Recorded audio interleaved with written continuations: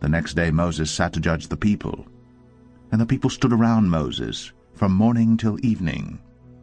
When Moses' father-in-law saw all that he was doing for the people, he said, What is this that you are doing for the people? Why do you sit alone, and all the people stand around you from morning till evening? And Moses said to his father-in-law, Because the people come to me to inquire of God. When they have a dispute, they come to me, and I decide between one person and another, and I make them know the statutes of God and his laws.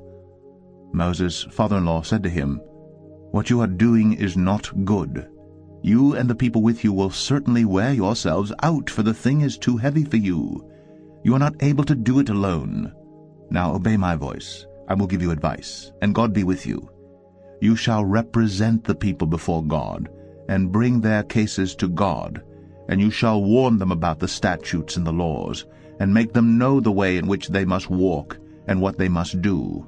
Moreover, look for able men from all the people, men who fear God, who are trustworthy, and hate a bribe, and place such men over the people as chiefs of thousands, of hundreds, of fifties, and of tens, and let them judge the people at all times.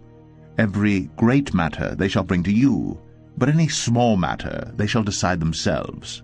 So it will be easier for you, and they will bear the burden with you. If you do this, God will direct you.